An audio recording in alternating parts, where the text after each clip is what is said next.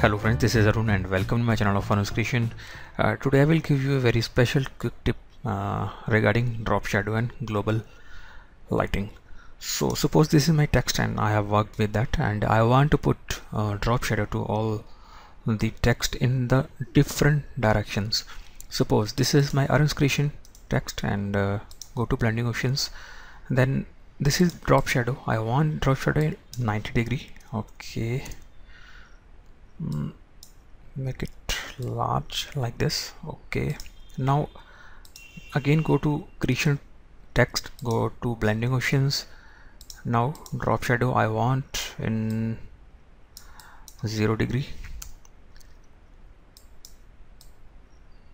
But the problem is that I want direction for each uh, drop shadow for each text in the different direction uh, suppose I am changing the angle of one of this uh, drop shadow. It is changing in both text. So uh, suppose uh, go to blending options then drop shadow. Then you have this use global light.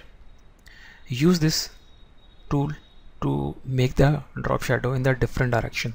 So suppose this is mark and uh, if I unmark this now this is I want a 90 degree angle. That's okay. Mm, drop shadow of this text I want at 0 degree. See this is 90 degree this is 0 degree. And again I can make go to blending options drop shadow I want 180 degree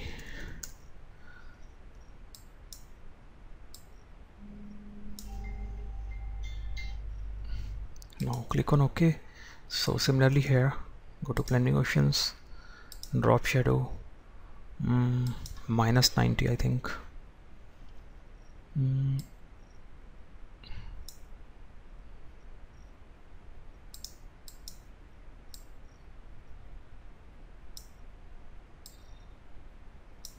click on ok go to this tool and go to options.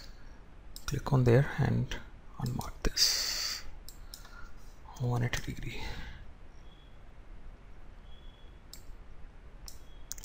So this is very very uh, nice tool. Nice option in drop shadow. Always work with uh, this uh, use global light if you want the different uh, direction of your drop shadow.